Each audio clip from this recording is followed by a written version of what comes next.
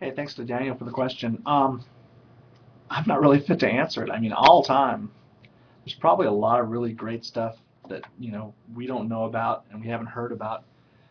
You got to remember, wrestling goes back to you know just before the start of the 20th century, and sometimes they would fill out you know entire baseball stadiums in Chicago, 60,000 people to see a match, and you know who knows? You try to compare that to today, and so I'm I'm kind of weaseling out of the answer, but the greatest wrestling match I think I've ever seen has to be um, Ric Flair and Ricky Steamboat at uh, Clash of the Champions. Two out of three falls.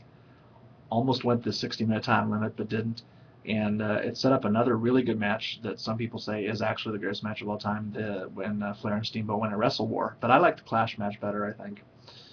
Um, and you know, coming from a WWF guy like me, picking a WCW match or was it an NWA match, whichever it was, you know, it's tough to do, but really, that's the one I want to see, and you know, pull out the DVD and take a take a look at it. And of course, I do have it on DVD.